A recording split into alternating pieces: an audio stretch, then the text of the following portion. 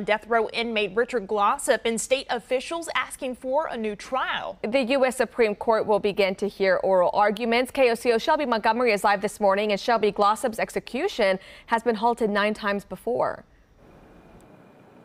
Good morning. Yes, Glossip has been on death row for more than 20 years with nine execution dates set and pushed back. Glossip has also received three last meals. Now, he was convicted for the 1997 murder for hire plot of his former boss, Barry, Barry Van Treese.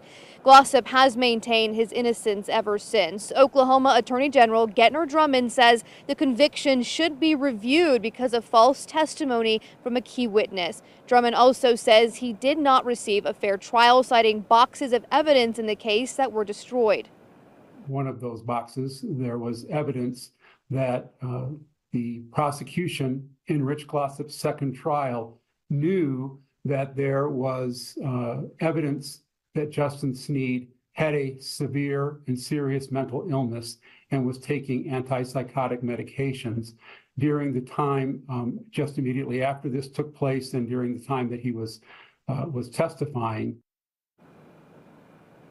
Now, Glossip's attorney believes that Glossip could be found not guilty if another trial is granted. The Supreme Court expected to make their decision by early next summer. Reporting live at the state capitol, Shelby Montgomery, KOCO 5 News.